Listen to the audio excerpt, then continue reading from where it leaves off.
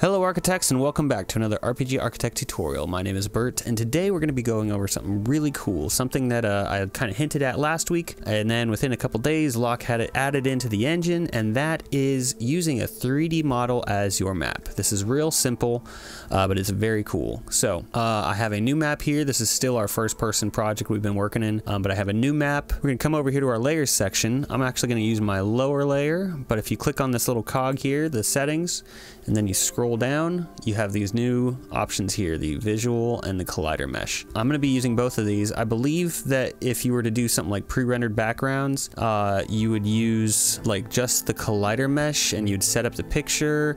I don't know. I haven't messed with 3D back or uh, pre-rendered backgrounds at all yet, so uh, but for today, we're going to be using both of these. So let's just click both of these, check them on. We're going to go to our assets, uh, I'm going to use this RPGA Crystal Shrine model that uh, Tolan put together. Uh, I'm going to set backface culling to clockwise, and then I'm going to hit OK. And then I'm going to use the same collider mesh, same model for the collider mesh, I should say.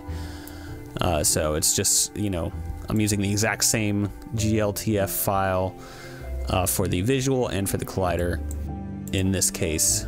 There might be uh, instances where you need to differentiate, but anyway, let's test it. And here we go. Look at this. We are in a 3D model. We have steps already kind of set up for us there. We have a wall. I'm pushing into it. Let me go to third person, walking into the wall, and there's a collision there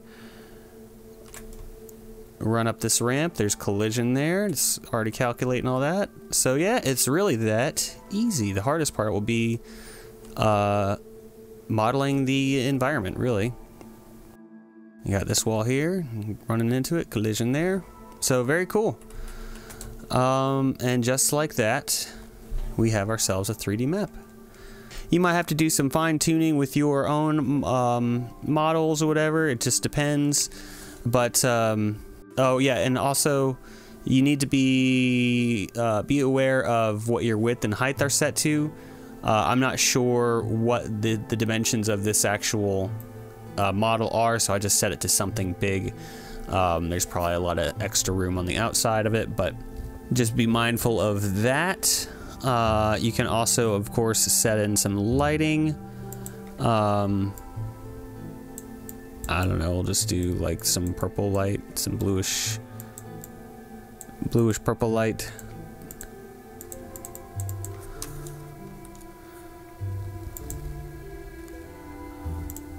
Let's just see what that does. Yep.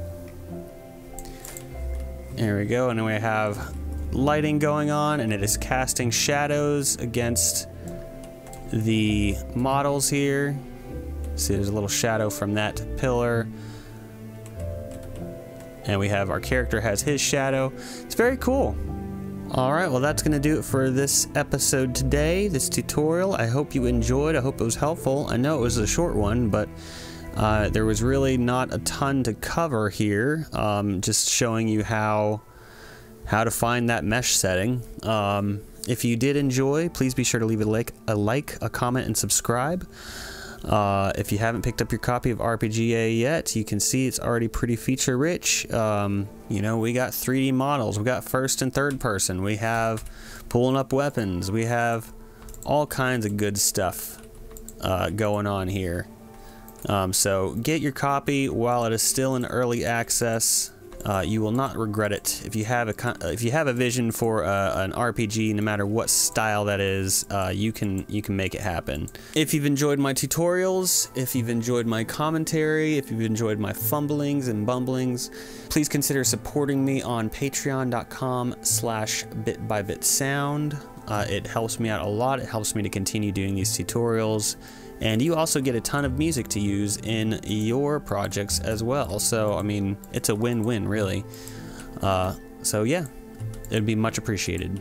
All right, y'all. Well, that's going to do it for me today. I hope you enjoyed. You have been amazing. I have been Bert, and I will see you on the next one. Bye-bye.